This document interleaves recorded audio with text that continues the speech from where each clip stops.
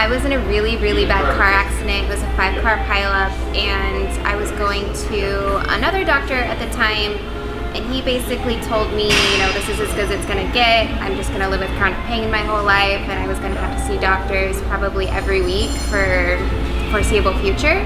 And um, I just didn't want to accept that that was my future.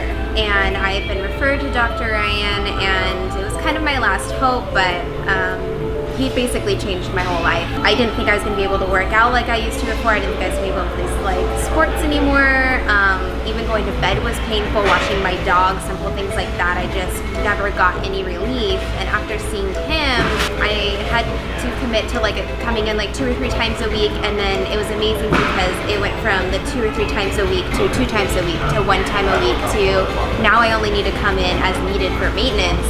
And it was so freeing. Like I've never actually thought my life could be normal again or be grateful for a normal life. He gives me not just the adjustment where, you know, okay, you know, we fixed what you've kind of messed up along everyday life, but um, he's giving me exercises to take home. There's this thing called a neck roll that I have to lay on every day at the end of my week, eh, or even every day, sorry. But um, the curvature in my neck was really messed up too, and, and from what I do for a living.